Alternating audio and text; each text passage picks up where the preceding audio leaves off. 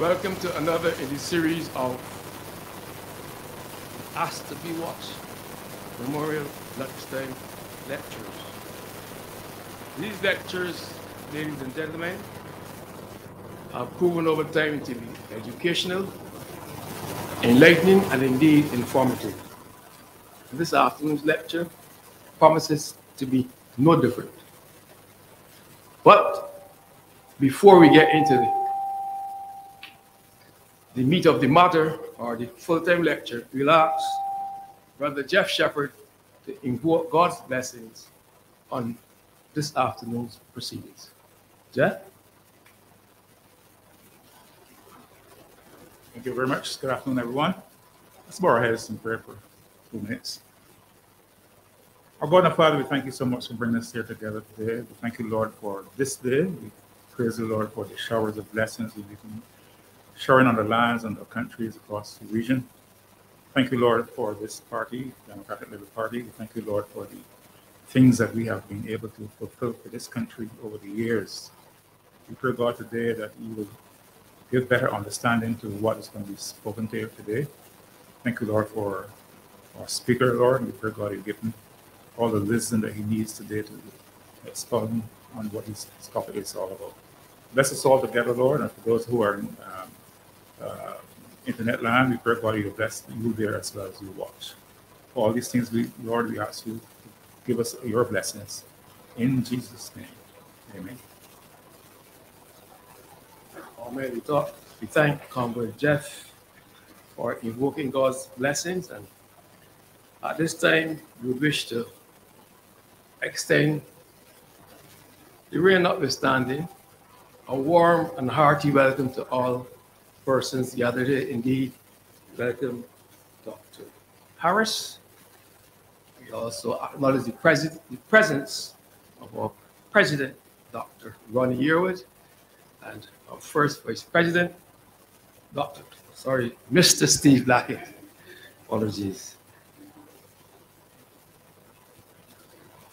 Dr. Harris is, from my information, well schooled in the art of accounting, but to properly introduce him, I call on Miss Renette Demore to do that honor. Miss Demore.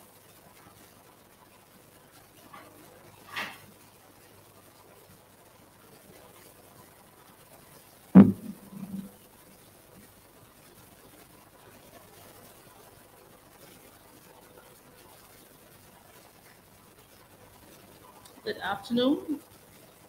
Protocol has already been established. Today, the task of introducing our guests of honor and featured speaker comes with a great privilege. Dr. Terry Harris is an assistant professor in accounting at Durham University Business School in the United Kingdom. He received his bachelor's degree with a double major in computer science and accounting, a master of philosophy in Phil in computer science from the University of the West Indies, Cave campus. He has also earned a professional accounting designation with the Association of with the Association of Chartered Certified Accountants, and a Doctor of Philosophy, PhD in Finance with Durham University. Dr. Harris has taught extensively in the disciplines of accounting, finance, business, and data analysis, and has engaged in several theoretical and applied research publications, both scholarly and professionally.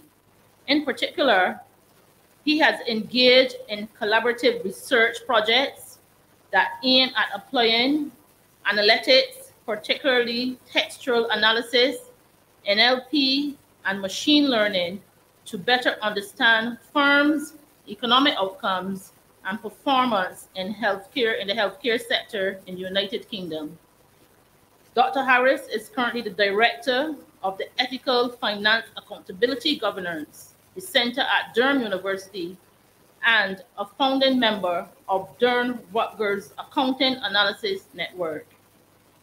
He has also reviewed for and published articles in the following academic journals the British Journal of Management, European Journal of Operational Research, Accounting Forum, Finance Research, Letters Expert Systems, and several others. Ladies and gentlemen, I present to you Dr. Terry Harris.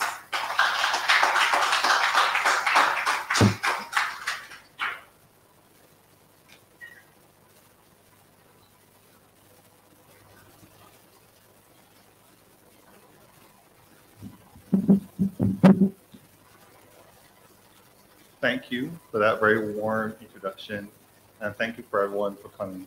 So my name is Terry Harris, and today the task has been given to me to present on the topic inflation and the rising cost of living, predominantly from a UK perspective where I live, and to draw implications for Barbados and the rest of the Caribbean. So with that in mind, the agenda for my talk today is as follows. First, I'll begin by giving a brief description as to what inflation is. I mean, we all know what it is. We're all feeling it in our um, pockets. We'll formally define it and further explain what is happening now, some of the reasons why economists believe that inflation is happening at this point in time. Then I'll want to relate it to the cost of living crisis that we're facing around the world, the UK, Barbados, and so on, and draw implications, particularly for, for Barbados. So that's the agenda for today.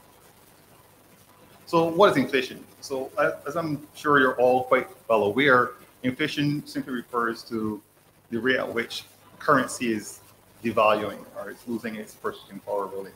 So consequently, um, a general increase in the level of prices for goods and services, this is what inflation technically is, right? So inflation, just a general increase in the price levels for goods and services in the macroeconomy. Inflation can be classified into three main types. So there is demand pull inflation, cost push inflation, and built-in inflation. And we're all facing a combination of these three types of inflation at this point in time. So demand pull inflation refers to a situation where increased demand is causing, well, for limited products and services in the macroeconomy, is causing the price levels, general price levels to increase. And of course, coming out of the pandemic experience, the lockdowns and so on, you'll find that individuals are going out there and they're engaging with, they're purchasing more goods and services, and this will tend to push prices upwards. So we're experiencing that at this point in time as well. Cost push inflation occurs in a situation where we, the costs associated with the production um, of the same set of goods and services where these costs are accelerating. And of course, again, coming out of the pandemic, um, we've had the situation in the Ukraine has caused gas and energy prices to go up, and this is a major factor in production that's pushing prices prices upwards. And then we have built-in inflation, a scenario or situation where because individuals expect that current levels of inflation will continue into the future, that's their expectation, if the cost of goods and services rises, they are going to want to negotiate for higher wages, higher profits, higher costs in order to maintain their living standards. And of course, this is a debate currently happening in Barbados. Individuals are agitating for higher uh, wages in particular, and of course, costs, profits, rents, and so on. And of course, this is also occurring very heavily now in the UK, where we're having industrial action as a result of this rising cost of living. So that's what inflation is. Like I said, we all know about it. Um, I'm not resident in Barbados permanently, but just this month I received a bill from Barbados Electric Power for $500 electricity bill. And it's kind of it's kind of ridiculous at this point in time. I need to transition to the photovoltaic system for sure. But yeah, so we're, we're really faced with inflation. The cost of living is, is getting higher and higher. So next, I want to point to some of the reasons why we're faced with this increased level of inflation. Of course, again, we all well aware that the price of energy, price of food, this is increasing around the globe. And there are some, some reasons that the economists have been pointing to. Of course, we don't have all of the factors, know all the factors, but we do know some of them. So a significant factor coming out of the pandemic experience is this demand pull factor that I've been talking about, where because individuals were locked up before, locked up uh, as a result of the pandemic, coming out of it, you're going out and you're buying more goods and services. And so there's increased consumer pent up demand that has been built up. Given the pandemic experience, individuals want to go out, they want to enjoy themselves, they want to go to fetes, they want to go to bars and so on. And this would cause, um, this would push inflation. Also, coming out of the pandemic experience, we've had an increase in um, supply chain disruptions, but predominantly out of China, where they're still experiencing COVID um, outbreaks. So they're still experiencing COVID outbreaks. They have this zero COVID policy and they're locking down China. That's disrupting the supply chain. Of course, this is pushing pushing inflation in our economy. And more recently, more disturbingly, and in fact more tragically, is the Russian invasion of Ukraine, which is causing inflation around the world. And it's this final tragic point that I like to point to next. So we have all these reasons. We have individuals coming out of the pan, of the lockdowns associated with the pandemic, wanting to get out there and consume more. This is good. We have supply chain disruptions as a result of you know lockdowns and other issues in China predominantly, but other places as well. It's not so good.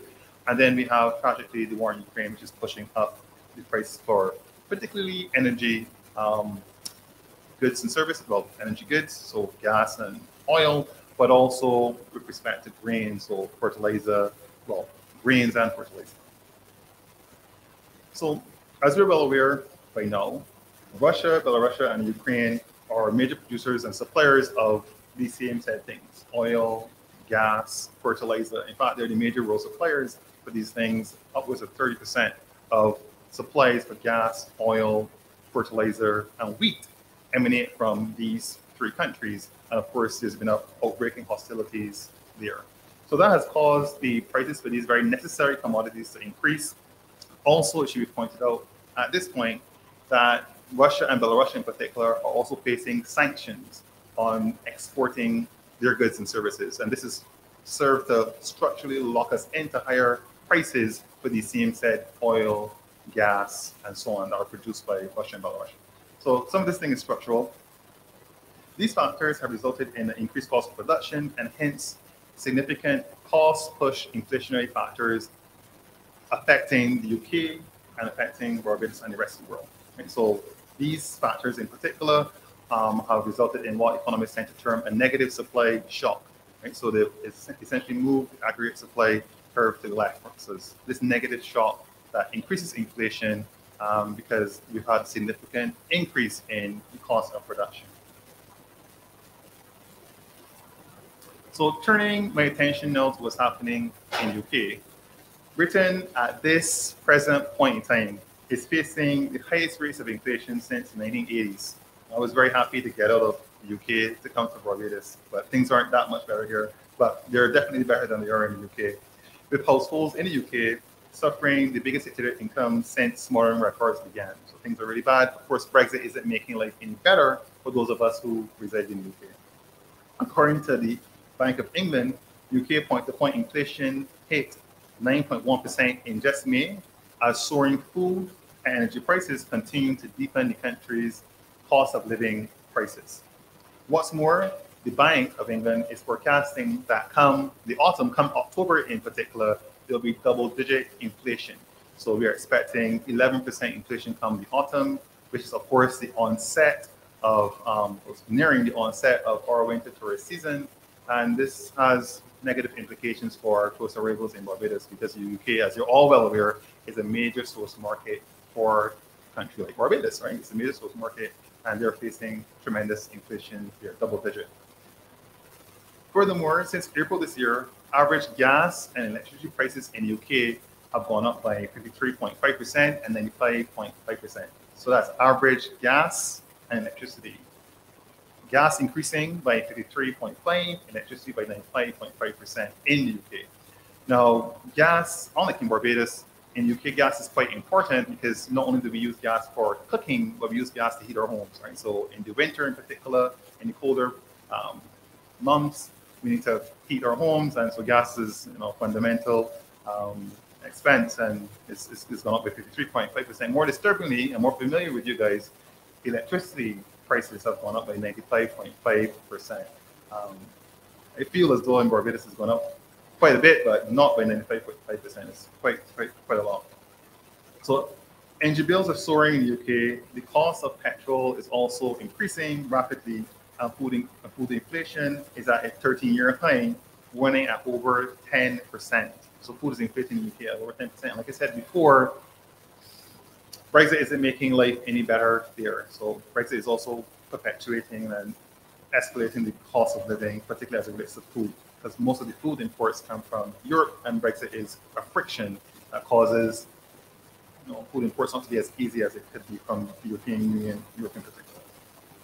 So in response, the Conservative government in UK has announced a raft of measures. They've spent billions of pounds in emergency financial support, but they're still facing heavy criticism over the cost of living crisis as millions of UK residents are struggling to cope with the galloping cost of living, and we have stagnant wages. So we have stagnant wages in the UK, and they're really struggling to cope with the cost of living crisis that is, that is happening there.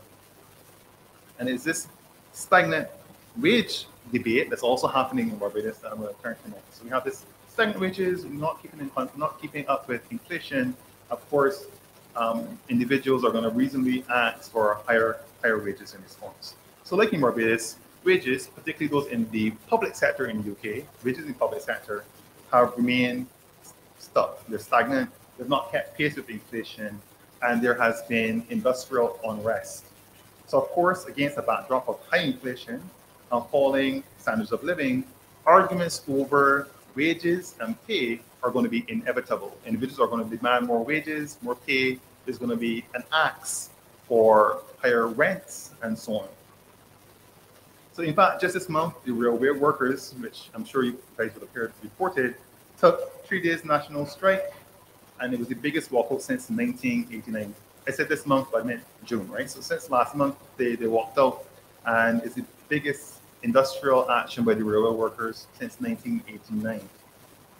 So as unions are demanding a better pay deal and they want some guarantees over job cuts. So the Conservative government in the UK is threatening to um, cut jobs, and they're also threatening um, that they will not increase workers' wages commensurate with inflation. And this has caused the industrial action.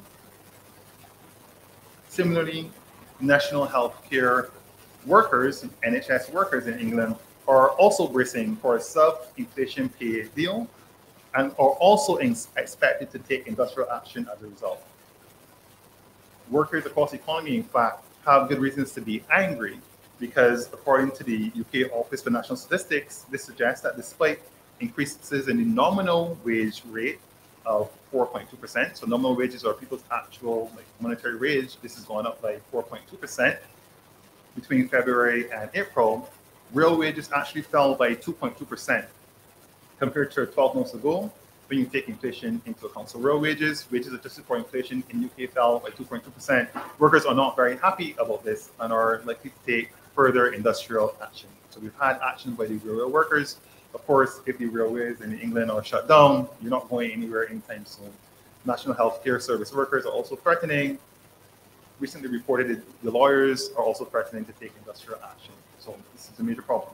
So, so far, the UK government has warned that bigger wage deals has threatened a 1970s style wage price spiral. So we've been here before. We've had supply shocks in the past. We've had supply shocks in 1970s, um, early 1980s, and you know, increasing wages has resulted resulted at that point in time in uh, this wage cost spiral as inflation increases as a result of wages being increased. And so they're arguing that this would further push wages, further push inflation further, which is not good for the economy because ultimately we may have to increase interest rates, which may not be good for pensioners and so on and so forth. So many have argued that this is not necessarily going to happen in the UK if increased productivity levels accompanied by increased wages um, occur in the economy.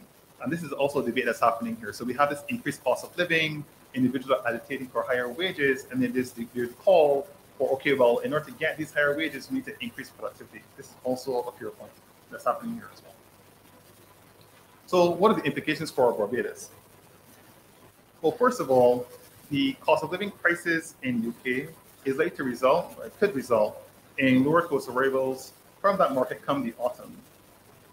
As UK residents have lower disposable income. So this is something we need to pay attention to. We may need to take further action to advertise in those markets to ensure that we still get the, the demand for um, tourism services come the winter season. So further, energy prices are likely to spike unless we're able to get um, the war in Ukraine under control, which I don't suspect will happen anytime soon. So energy prices are likely to continue to rise, and this will affect transportation into Barbados, particularly airline travel into Barbados. I don't know if any of you have traveled recently, but I have, and the cost of travel into Barbados is very expensive at this point, and particularly from the UK. And so, if you're unable, and we're not talking about taxes, but of course those are ridiculous on um, airline tickets as well. But just the ticket itself is really expensive as a function of the um, energy costs. So this is likely to also put downward pressure on tourism arrivals in Barbados. In addition, in Barbados itself, Barbados itself is also experiencing elevated levels of inflation, with the Barbados Central Bank reporting inflation at March at about 4.2%, while other sources such as the IMF are reporting even higher levels for the same period. As this figure is expected to rise, there could be increased calls for wages to be increased as in an effort for wages to be chasing the cost of living, in an effort again to maintain individuals' standard of living. So to be clear, it is my view that the social implications of not increasing wages need to be seriously considered in what is already a high cost of living environment. So this is already a high cost of living environment, as you know, and so the the suggestion that we just dismiss individuals' requests for higher wages, we need to um, question that a little bit. So while we can agree that to avoid pushing inflation higher, it would be necessary and ideal for wages to be accompanied by productivity gains, we need to also point out that productivity is not only a function of workers' work ethic, but also the management practices, education levels, technology, and capital that they have to work with. So workers alone should not bear the brunt of this. Um, there are a lot of factors that enter into productivity, not just workers' work ethic. So therefore, if policy is directed at improving these things, we can avoid, I would argue, the dreaded wage price spiral while responding to workers' reasonable wage increase demands. And as I said, reasonable. Of course, we can't get ridiculous about it, but we shouldn't just dismiss um, workers asking for increased wages at this point in time. Of course, we need to be prudent but you know, we shouldn't dismiss the ads. In the absence of doing so, economic theory would suggest that we are likely to see a diminution in workers' real and if not nominal wages, lower standards of living. And speaking as a worker myself, because maybe all like to think we're in the working class. I'm sorry that we're in the middle class, you know, but we're all really workers, to be honest with you. And speaking as a worker myself, and to put a twist on the famous quote by Keynes, in the short run, if this was allowed to be happening in Barbados, we'd all be broke soon, right? So we heard that, you know, the middle classes are being asked to pay more and more, but there's a lot of pressure being put on the middle class. And if this is not checked, the middle class will soon be broke if they're not broke already. So just to wrap up, we're seeing increased levels of inflation and the cost of living crisis across the world is affecting not only the UK, but Barbados as well. This is particularly the case in the UK where, unfortunately, electricity costs have doubled.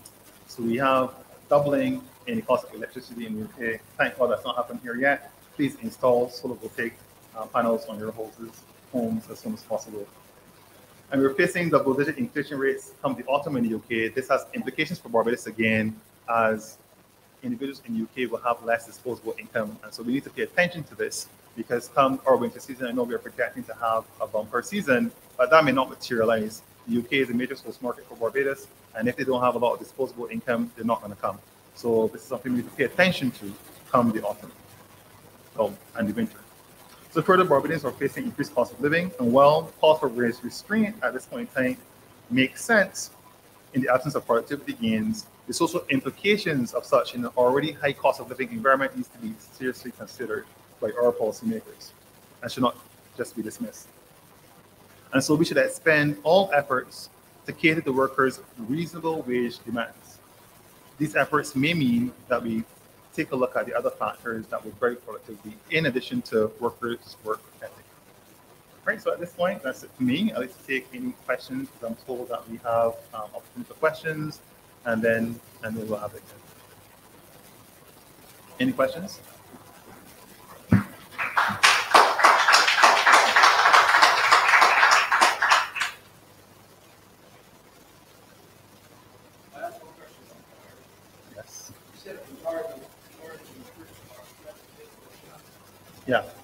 The lawyers. Yes.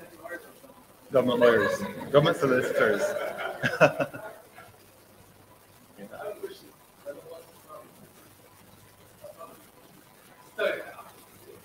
Well, there, in the UK, um, if you're unable to afford a lawyer, there is um, support that is given to you. So you, you're able to get government fund funding to get a lawyer, and that fund has not increased in a number of years.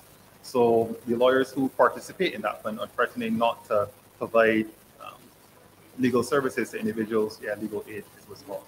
Yeah.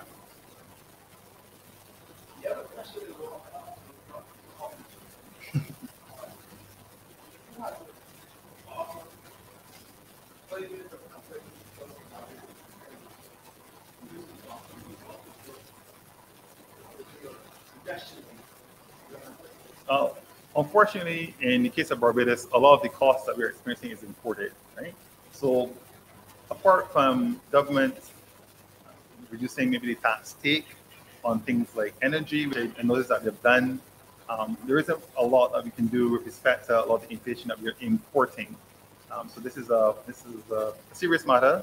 Um, but with respect to cost of living, there isn't a whole lot I can see apart from reducing taxes on things like fuel um, which they've, they've to do, but maybe they can do more of that.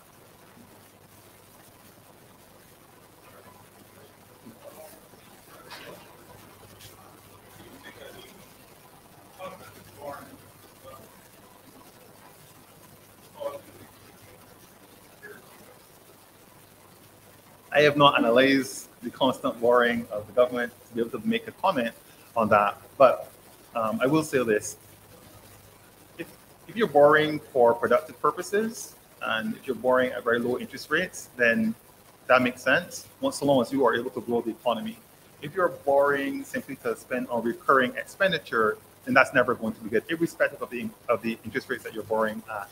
So, insofar as we borrow, I, I know um, Boris has done a lot of borrowing recently, um, insofar as, as the country is borrowing at low interest rates, I'm putting these borrowings to productive, this is the important point, productive uses, then we don't have a problem with that as long as we're able to grow the economy. However, if borrowing is targeted at recurring expenditure, irrespective of interest rate that's being applied to the borrowing, um, there's opportunity costs associated with that, and it should be avoided. So we need to be careful what we're borrowing for. Is, is the point I'm trying to make. If we're borrowing for infrastructure, that's going to be that's going to expand the economy. This is good, right? And if you're borrowing at lower interest rates, that's even better. We don't want to borrow at high interest rates. Um, but if you're borrowing to pay government salaries and these type of things, um, irrespective of the rate at which we borrow, is not very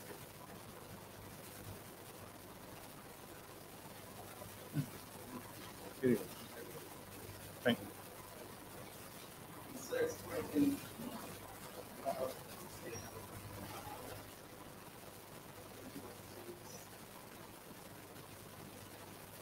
well, I don't know that I would save printing money. I don't know that I would start there. Uh, but um, I'll just take the question uh, as, as we give it, as, as how we give it. So, what are the factors that are causing inflation in Barbados? Barbados um, is import, we import a lot right, in Barbados, and so a lot of the, given that there's this this shock to energy prices around the world, everything has to be. You know, Barbados is in basically the Atlantic. Right? Everything has to be shipped here, and that's driving a lot of the inflation that we're that we're seeing. Um, Maybe there could be government policies that are driving it. Maybe that's what you're trying to get at. Um, but I'm not. I'm not aware of any, apart from maybe the taxes on energy that maybe could be reduced or capped, which they've done. I didn't say. I know you were the person that introduced printing money. I never said not printing money. I could never comment on something like that.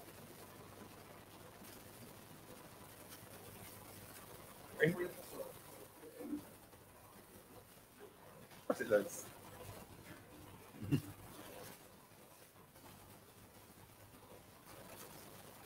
yes.